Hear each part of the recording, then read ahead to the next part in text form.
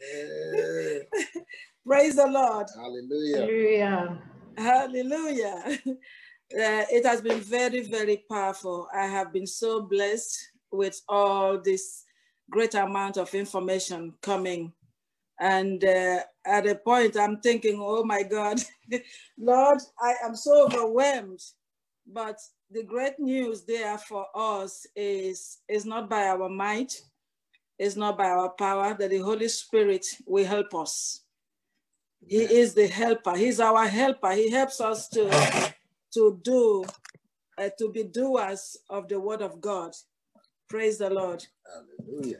So I have been given to uh, look at the Titus woman um, again that every one of us has been looking at. And we are going to look at, um, I will specifically be talking about uh, women being busy at home and uh, being productive, not being idle. And uh, that's, that's, that's really it from the, from uh, Titus 2. So I want us to look at that Titus 2, uh, 3 to 4. Titus 2, 3 to 4.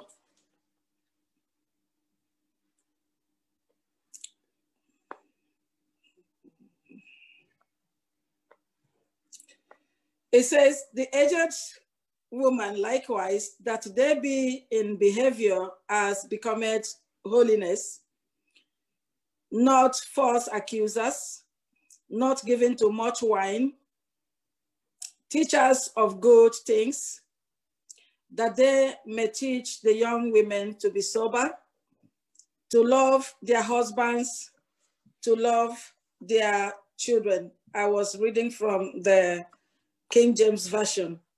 So the key word there for me uh, is when it says sound doctrine. Uh, uh, when I look at sound doctrine, it says is to promote a lifestyle of sound teaching and also to have a good behavior that reflects that you are a godly person. So the, uh, the when we talk about the woman, we are not really referring to the hidden woman, but we are referring to the godly woman uh, because they are really the ones that that uh, bear the light of God uh, in this perverse generation that we are living in. So as godly women, like everybody has been very amazing in their speeches, pulling down various scriptures and uh, all the things that the Lord would want us to do. So I'm not going to be so deep in this because we have got a, a great amount of information in this. So um, when I just looked at sobriety, when it says that we should be sober, it says that we should not, as godly women, we are not to be drunk or intoxicated like we see in the women of the world. So we are really called to be different people. We are to be sober. And sobriety means that you won't be drunk, you, be, you won't be intoxicated, you, um, you are not given to excess drinking of alcohol, and uh, you do all things in moderation, and you must be serious minded, not just casting jokes anyhow. So, and you have to have uh, self control. As a godly woman, self control uh, is really what we are, is, is a virtue that we're supposed to we have so that if we really want to please God in our lives, so we have to have all these qualities. And um, I really thank God because of what Jesus Christ said, that he is the light of the world and that anyone that walks with him, if you if you follow Jesus, you will not be in the dark.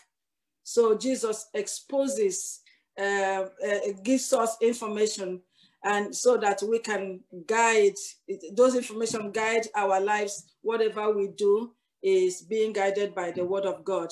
So the word is a lamp unto our feet and a light unto our path.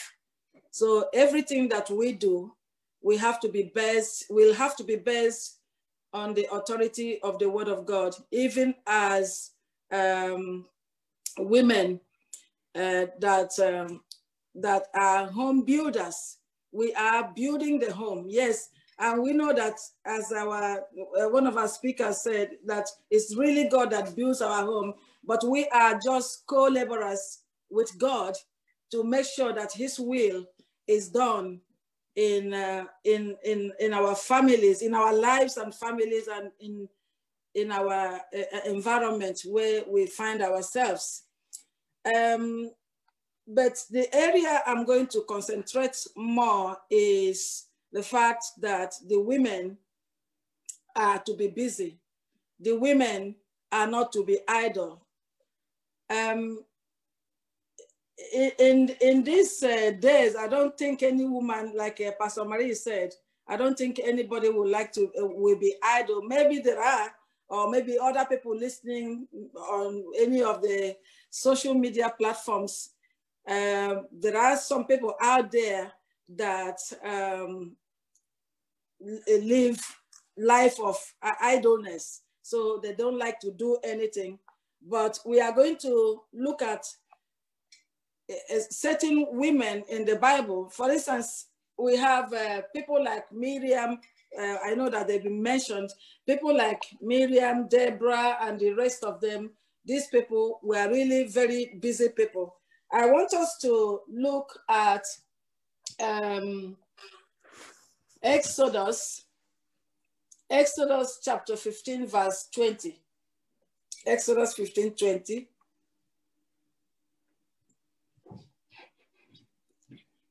the book of Exodus. Um, 15 verse 20.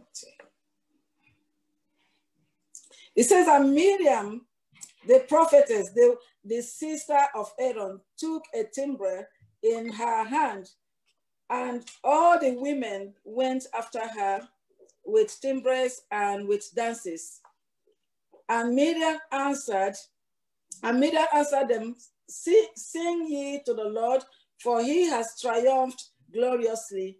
The horse and his rider has he thrown into the sea. So when this place that we just seen is that Miriam, he, she was she was a prophetess, and also she was a gifted singer. And like other women in the Bible, we have just uh, we, somebody has mentioned uh, Deborah. Deborah was a prophetess and uh, she, she judged uh, the people of Israel. And also we've just heard that she went to war when, uh, with Barak, when Barak said, uh, if you are not going with me, I'm not going to go. So she went. And these were busy women. They were not women who just stayed at home, not doing anything, just uh, you know, looking looking for trouble or causing trouble. They were not this kind of women. So the, the we are godly women. We are supposed to be busy.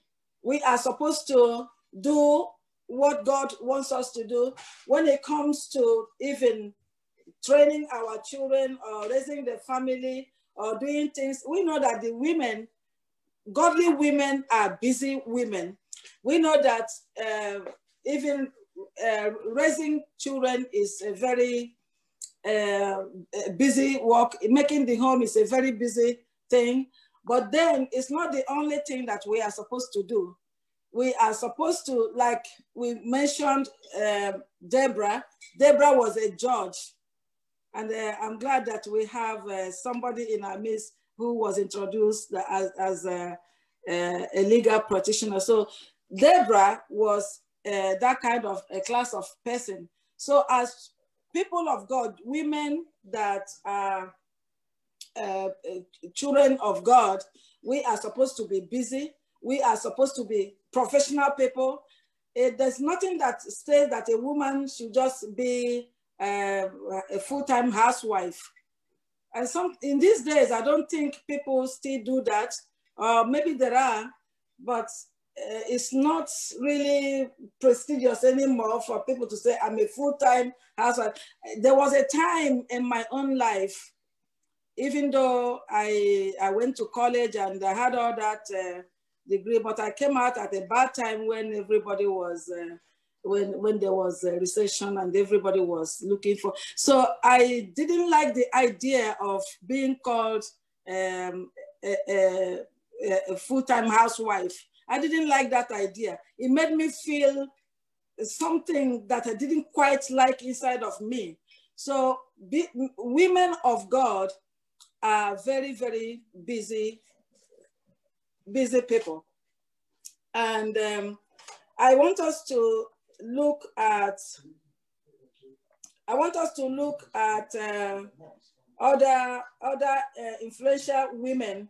We want i want to see i want us to see in the proverbs proverbs 31 uh, there's something that somebody said at one point. She said that she doesn't like the Pro, proverb 31 woman because uh, you can't just meet up her standard you know the, the proverb 31 woman you cannot meet her standard i want us to look at that place and uh, it's talking about king lemuel the mother was teaching him, sorry, I just get there. Chapter one. It says the words of King Lemuel, the prophecy of the mother, the prophecy that his mother taught him. This was a busy woman. So as women of God, we are very, very busy whether it is teaching our children in the house or doing things. It says, this woman, she taught and she said, my son, and what, what my son, and what the son of my womb, and what the son of my vows. Give not your strength unto women, nor thy ways to that which destroys kings. So it is our job to teach our children principles, godly principles. It is our job as godly women to eh, eh, put our faith in our children so that they too, they will grow up with that teaching because the Bible says that we should train up the child in the way he should go. And when he grows, he will not depart from it. I use myself as an example. You know, we may think that our children are not listening. We may think they are not listening when we are teaching them. Um, I have taught my children a lot of things, but I think that they are not getting it. But sometimes when I'm talking with them, they begin to quote back my words to, to me. And I'm thinking, so you always hear me and you understand. Then, and then they say, yeah. So we, we, it is our duty, our responsibility as godly women for us to teach our children godly principles, whether we feel that they are listening or hearing or not. But we, because we know that God says if we do that, that that will stay with them in their in their life. So they are not going to depart from it.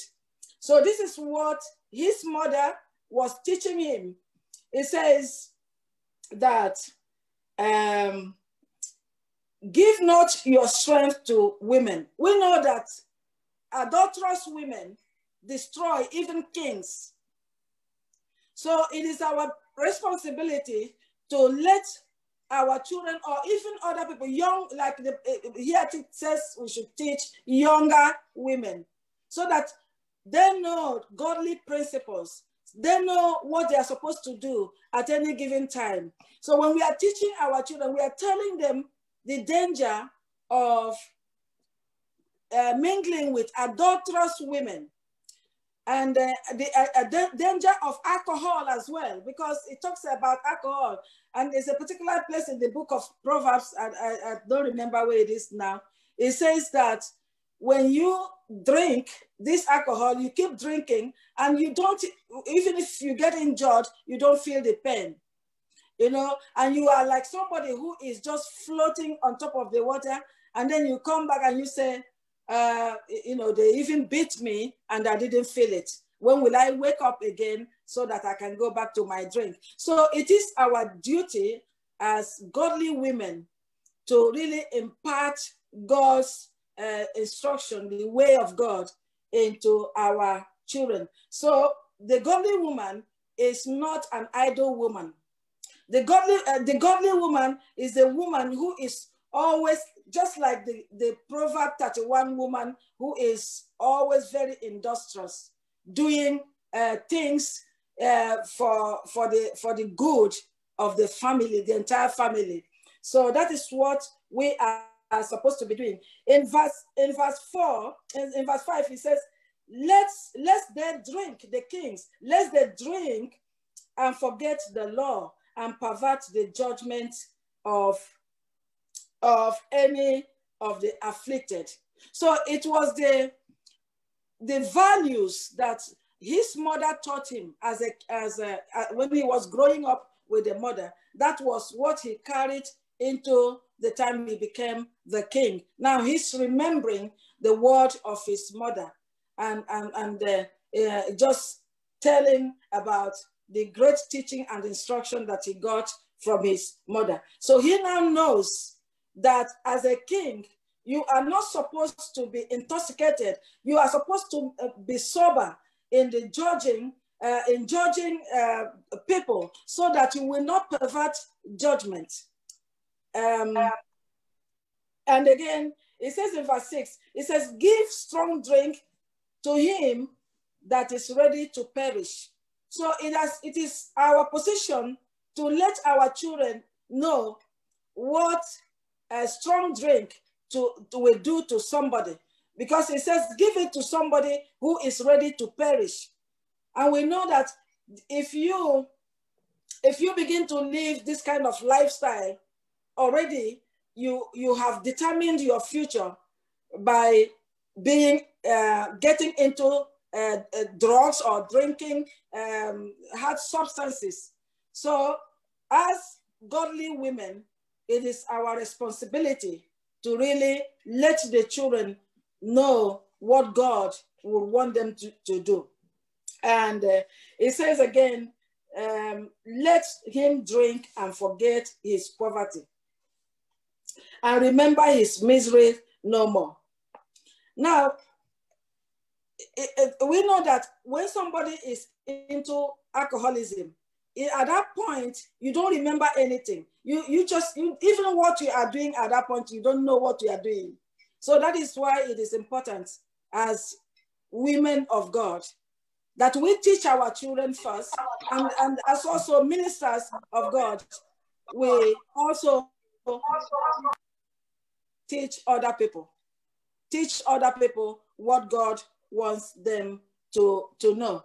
So we have a lot of women in the Bible that they were, they were not just housewives.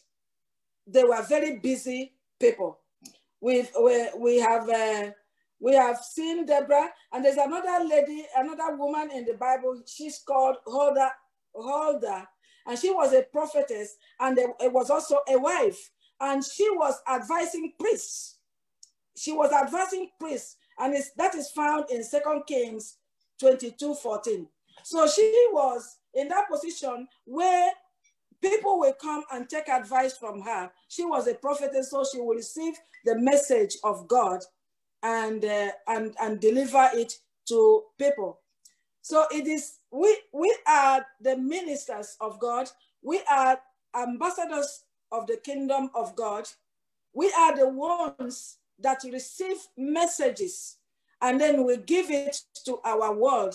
Even the situation that, that we are having in the world today, the solution really lies in the hand of the people of God because we are the, we are the ones that, that uh, have the word of God. We are the ones that have solution. And I find the word of God as very, very um, all encompassing. There is nothing that is in our life, the experience that we have in life, there is not no aspect of our lives that we cannot find in the Bible. So whatever the situation in your life, we find it in the Bible, whether it's a personal situation or a corporate national situation. So like we have, we, we read about Joseph in the Bible. So Joseph was in a position when, when, when there was going to be famine, he was in a position to advise the king so that the, the you know gave gave uh, the king godly strategies so that they will use it to preserve uh, food for the next seven season when there will be uh, hung, uh, you know, famine. So this this one, uh, you know, in this particular season, there's going to be abundance, and then the other season there will not be anything. So they'll be able to uh, store up those uh, food from the abundant season so that they will be able to use it. So the problems that we are having in the world today the solution really lies with the people of God. That's the way I look at it. And as godly women, we should not detach ourselves from, um, from our community, from, uh, from the problems that we, we should always, you know, sometimes we feel we are not adequate. We can't even, we are not the ones that we talk. We, we can actually pursue those important positions, we can actually um, develop ourselves to uh, attain those level of uh, space of influence so that we'll be able to influence decision-making processes in the in the in the in, in government so that we will be able to offer advice. So I always encourage people who have the calling then whether it is politics, whatever your calling is in life, I always, uh, I am, I, even whether it is politics or whatever it is, I always say, if you want, if you are called into politics, go into politics. So that is what we saw in the Bible. The women in the Bible were, I mean, godly women, Jewish women, Hebrew women, because I was looking at uh, the description of women and we found that there are hidden women, the, the, the people in the East. So there, were hidden women, but uh, we were told that the ancient Jewish um, culture did not subjugate women the way the Eastern religion subjugated women. So while the, these women, uh, I want, I just want to uh, get into something that I, uh, information that I got. It says that this particular women in the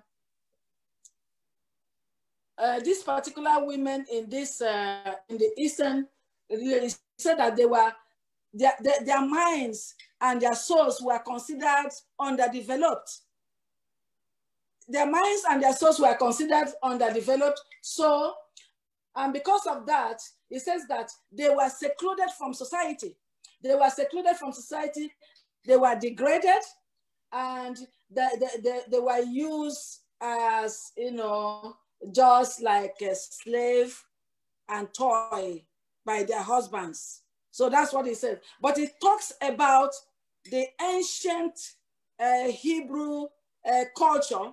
It says it did not do the same thing like it did for these other people. It says that these people, the Jewish culture, he made the women, he set the women free. He said that they were educated women, they were refined, they were ennobled, they were, they, they were regarded as cheering, and they were regarded as a blessing to their family and to the society. And we can even see it in the type of responsibilities that uh, the women, women like Deborah, Miriam, and uh, the one, the, the one I just mentioned, Hodla, and all the different women that we've seen in the Bible, they were people that came out to really um, do something that promoted the uh, the good of their community. And also we saw Esther in the Bible. When the Israelites, the, the Jews were going to be annihilated, we saw her role, what she did. It was through her influence that uh, that was stopped. You know, all of us, we, we know that story very well. So the women are not just people that should remain dormant in the house, you know, watch TV 24 7, not being uh, not not being productive. That's that's really the key. It said that we should be women that are productive. I know for all of us here, we are productive, and that is why we are influential, and that is why we are able to, you know, deliver these different uh, lessons from the Word of God that we have been able to deliver. But there are people that we need to go out there to teach. There are people who have no clue. We know so much because Jesus said that he came to give us light. To give us light means that we are we, we have information from the word of God, information that will make us to make quality decisions, information that will guide us in when we face obscure situations. So we are able to know that we are uh, we are we are there to help other people see the light that that uh, we have seen. So as women, we are not just there in the house to to while away the time to not do anything. We are busy for our family and for our community. Praise the Lord. Hallelujah. Another thing that I want to mention before I know that uh, I, I, my husband is telling me it's time now. Another thing that I want to mention, there is an interesting, an interesting um, uh, story that I saw in the Bible some time ago, very long time ago, and I was so intrigued. We, we, we the uh, women of God, godly women, we are pace setters. We are pace setters. So people should look at us. I know with God, our godliness, yes, our faith, yes, but they also should look at us and see what uh, uh, a pace setter is all about. They, when maybe, uh, you know, the, the Bible said that Jesus Christ, when he came, the people that sat in darkness, they saw great light. So we are the light. We are pace setters. So this story that I saw in the Bible it is found, we're not going to read it, but it is found in the book of Numbers 27, 1 to 11.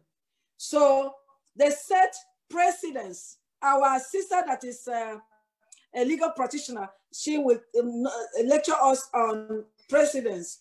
So the, these daughters, there were, there were seven daughters of Zelo, Zelo, I never pronounce it well. He said daughters of Zelophehad.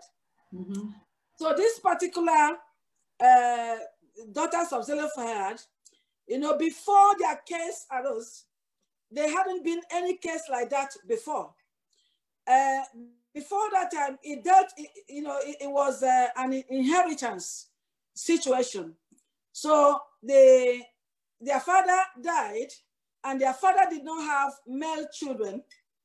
And because their father did not have male children, they came to Moses, who was their leader, at that time their judge, and saying to Moses, we want our father's inheritance because our father died not having male children.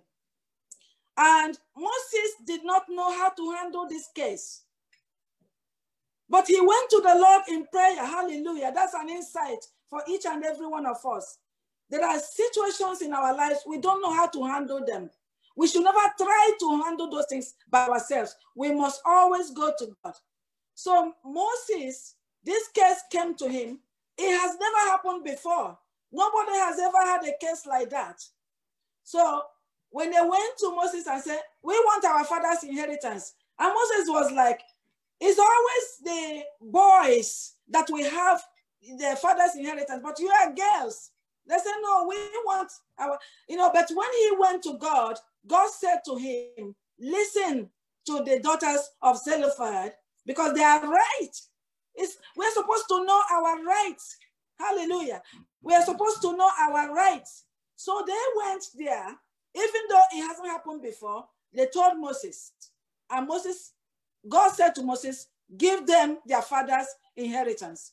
So by that single act, you know, they set a precedence for uh, future judgment of such cases. So we are we are the light. We throw light in everything, whether it is in opening the eyes of the people, you know. and um, we open the eyes. I have seen myself doing just that in various aspects.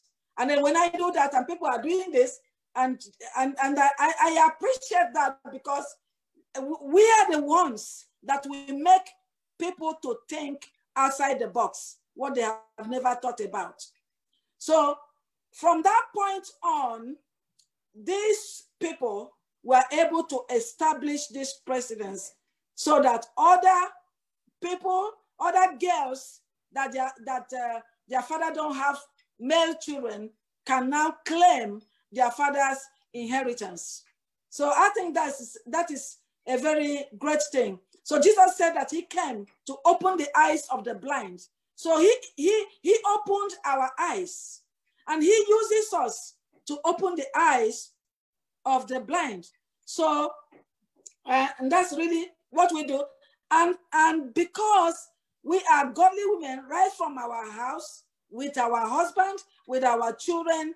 So we, we cannot live in ignorance because Jesus said that we will receive the light of life. It means that we have information. We have information. We have information that others don't have. We apply that information. Our life really depends on how much we know and apply. We know so much in the Word of God.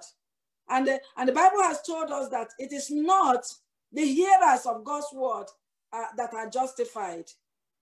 It is how much we can put this to work.